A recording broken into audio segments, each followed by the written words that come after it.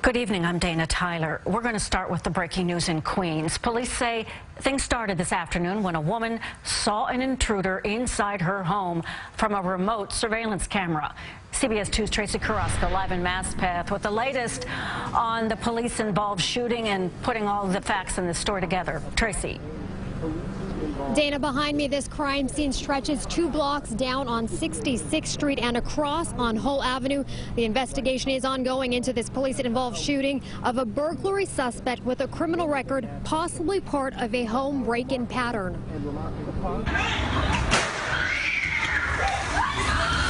Gunshots.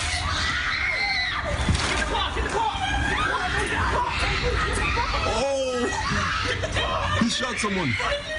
Cell phone video we obtained shot by a resident across the street captures the moments before and after shots fired can be heard. Police tell us they fired after responding to a call of a burglary in progress at a home on Hull Avenue. Police say the suspect seen in the video is running from the home, while the woman is the homeowner who called 911.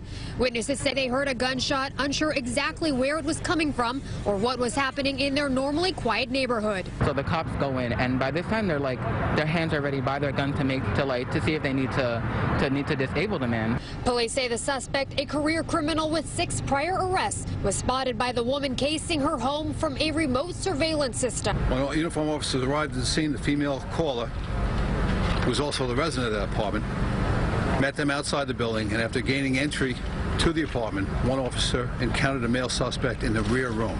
A struggle ensued, which one shot was discarded, discharged by the officer's service weapon. The suspect fled the building and was chased on foot by the officers and apprehended about a block away in backyards. Police say a woman was discovered three quarters of a block from where the suspect fled in her driveway, suffering from a laceration to her head. Unclear exactly how she was injured. Now, police say that 38-year-old suspect was shot in the groin. He's in stable condition at Elmhurst Hospital. No officers were injured today in this afternoon shooting. We're live tonight from Maspeth, Queens. Tracee Carrasco, CBS 2 News. Thank you, Tracee.